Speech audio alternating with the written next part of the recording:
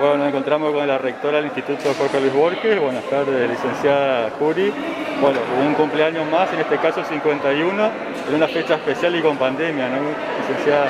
Muy diferente, un festejo diferente, que tratamos en lo posible de estar algunos juntos y poder reunirnos en esta situación especial para que la fecha sea recordada, eh, un poquito en homenaje a los que nos precedieron y también a los presentes, a los actuales, tanto docentes como a estudiantes que nos acompañan día a día.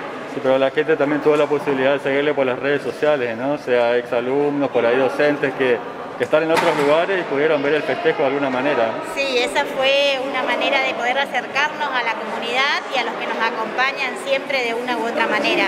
Eh, un nuevo aprendizaje, algo que vamos implementando con esta situación, con la nueva normalidad que estamos viviendo. Y bueno, la última, licenciada, con respecto a esta situación que se da justo hoy en Santo Tomé, en el cumpleaños del instituto, y Santo Tomé que vuelve a fase 3, digamos, por la situación epidemiológica. Eh, no depende del municipio ni de la, comisión de emergencia de acá el funcionamiento de la institución, sino de Corrientes, ¿no?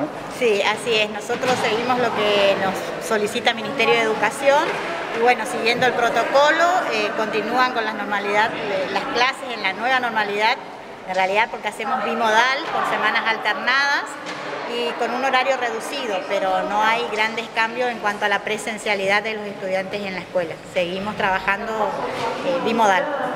Muchas gracias.